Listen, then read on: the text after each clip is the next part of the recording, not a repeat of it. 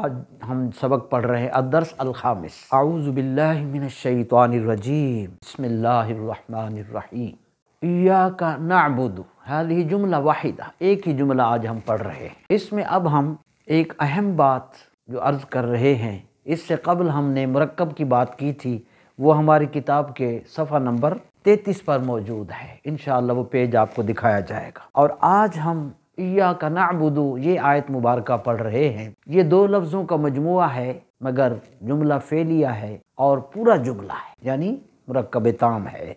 और मरकब मुफीद भी इसको कहते हैं, यानी मुकम्मल सेंटेंस है। ईया का नाबुदू। अब हम ग्रामर के हवाले से एक अहम बात अर्ज़ कर रहे हैं। अगर इसको समझ लिया तो कलाम पाक का बहुत बड़ा हिस्सा हमारी रेंज में आ जाएगा। वो है ईया का, इसमें ज़मीर है। बाज़ दफ़ा नाउन इस्तेमाल होता है, बाज़ दफ़ा उस नाउन की जगह ज़मीर इस्तेमाल होता है। मसलन, खालिद आया, वो बैठा, उसने बातचीत की, उसने खाना खाया, वो चला गया। अब इसने वो, ये सब चीज़ें ज़मीर कहलाती हैं। उर्दू में इसी तरह अरबी ज़ुबान में ज़मायर हैं। और ये जिस तालब इल्म को जब समझ आ जाती हैं तो कलाम मजीद का बहुत बड़ा हिस्सा उसको समझ आ जाता है। इसको समझने के लिए, और ये इसमें ज़मीर हमारी किताब के सफ़ नंबर 21 पर मौजूद है। इन वो आपको विजिबल आपके सामने होगा इन फ़ाइल की बुनियादी हालतें तीन हैं। याद रखा जाए, इसमें ज़मीर को जब हम समझेंगे तो फ़ाइल काम करने वाले की हालतें तीन हैं। नंबर एक, गायब। कभी वो मौजूद नहीं होता, हम कहते हैं वो एक आदमी। कभी दूसरी हालत होती है, उसमें वो हाजिर होता है। हम कहते हैं, तू एक आदमी। और कभी मुतकलम खुद कह रहा होता है कि, मैंने ये काम, मैं एक आदमी। तो अब वो एक आदमी, तू एक आदमी और मैं एक। तो ये तीन हालतें हैं। वो एक आदमी, गायब थर्ड पर्सन तू एक हाजिर। अरबी में हम इसको हाजिर कहते हैं, मुखातब भी कहते हैं। सेकंड पर्सन और मैं मुतकलम हम कहते हैं इसको, और हम इसको इंग्लिश में फ़र्स्ट पर्सन कहते हैं। जैसे ही यू आई। तो इस तरह इसमें ज़मीर की तीन हालतें हैं याद रखा जाए। इन ये गायब और हाजिर और मुतकलम ये तीन हालतें बुनियादी हैं। इसी पर ही ज़मायर रिवॉल्व होती हैं और इन्हीं ज़मायर पर ही फेल जो है उसका एक सिस्टम चलता है। तो आज ये तीन बुनियादी हालतें, गायब, हाजिर और मुतकलम इसका तस्वुर जहन में रख लें। अब यहाँ अल्लाह तबारक व ताली ने जो जुमला फेलिया के तौर पे कलाम पाक में इर्शाद फरमाया का नाबुद। इसका माना है, तेरी ही हम इबादत करते हैं। तो ये ईया का ज़मीर है। तेरी ही हम इबादत करते हैं। ईया का ज़मीर है हाजिर की, नाबुद फ़ेल है। और फ़ेल मुजारे है, जमा मुतकलम है। तेरी ही हम इबादत करते हैं। इसका तर्जमा था।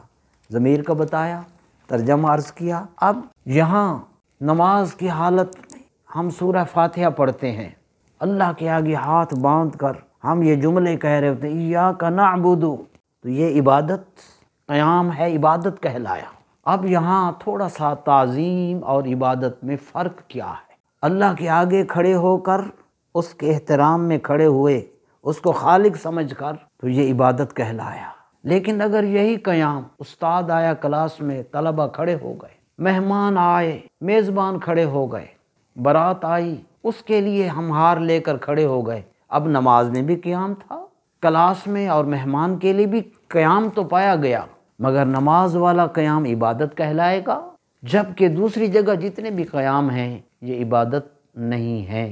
क्यों?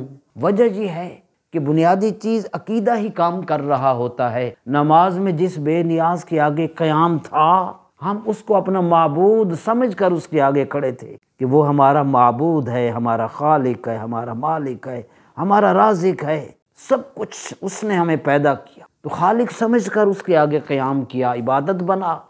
जबकि बाकी जगहों पर हमने किसी को खुदा नहीं समझा, इलाह नहीं समझा, बल्कि मखलूक समझा, उसके एहतराम में खड़े हो गए। तो ये ताज़ीम कहलाया। इसलिए इसमें फ़र्क समझा जाए। हजूर सलाम की हदीस हम सब जानते हैं। आप सलाम ने फरमाया मल्लम यार हम सगीरना वलम यकीर कबीरना फ़लई समिन्ना जिसने हमारे छोटों पर रहम न किया और हमारे बड़ों की इज़्ज़त न की, वो हमसे नहीं है। एक तो ये नुक्ता था। ग्रामर भी बता दी, आखिरी बात आज के सबक की ये है कि यहाँ ईया का शुरू में क्यों लाया गया? इसका फसरीन ने जवाब ये दिया कि ईया का शुरू में लाने का मकसद ये है कि हसर पैदा करनी है कि मालिक सिर्फ़ तेरी इबादत हम करते हैं, किसी और की इबादत नहीं करते। एक, नंबर दो, नमाज़ में अकेला बंदा अल्लाह की इबादत कर रहा होता है तो ये जमा का लफ्ज़ ना बोलो। हम इबादत करते हैं, नमाजी तो अकेला होता है। और हम का लफ्ज़ तो तब कहते हैं जब बहुत से हूँ। तो जमा का लफ्ज़ क्यों लाया गया? अल्लाह अकबर। इसमें मुफसरीन ने, कामिलीन ने इसका नुक्ता ये समझाया कि नाबुद जमा का लफ्ज़ क्यों लाया गया? हालाँकि नमाजी एक है तो वो अकेला आबुदू कहना चाहिए कि मैं इबादत करता हूँ, नाबुदू क्यों कह रहा है? फरमाया, एक राज इसमें यह है कि इबादत करने वाला अपनी नाकिस इबादत को अल्लाह के मुकर्रबीन और आरिफीन की पुरखलूस इबादत के साथ मिलाकर अल्लाह की बारगाह में पेश करे, ताकि उनकी बरकत किस की वजह से, उनकी पुरखलूस इबादत की बरकत से इसकी नाकिस इबादत, अल्लाह की बारगाह में कबूल हो जाए, इसलिए जमा का लफ्ज़ लाया। अल्लाह ताला फ़ाहमता फरमाए। आमीन।